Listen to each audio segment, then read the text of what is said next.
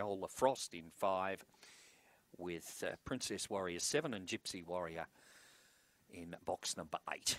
All locked away now. This is the 10th out of Mount Gambier. Green light on. Lure in motion. They're set ready and away.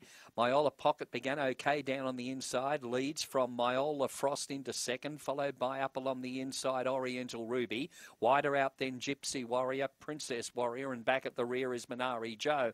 Off the back, Myola Pocket in front. Trying hard, Myola Frost. They're a couple clear then on Princess Warrior. In the straight, Myola Pocket is in front. Myola Frost lunges and gets there. Myola Frost beats Myola Pocket. Princess Warrior got third.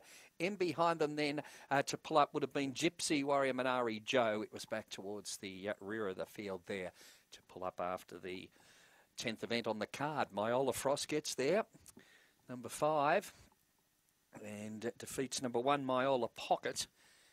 And third to number seven, Princess Warrior. So five, one, seven there after the running of race number 10 on the card and the race time there of 23 and 69 recorded by number 5 Myola Frost coming off a second last start at uh, Mount Gambier I threw it on top and uh, certainly drifted in the market. But uh, if you backed it on UTAB you'd be happy.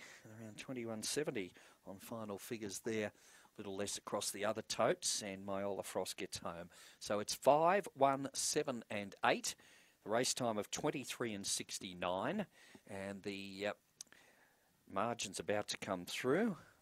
This uh, winner number five, Myola Frost, scoring by a neck with a length between second and third. Uh, Brindle Bit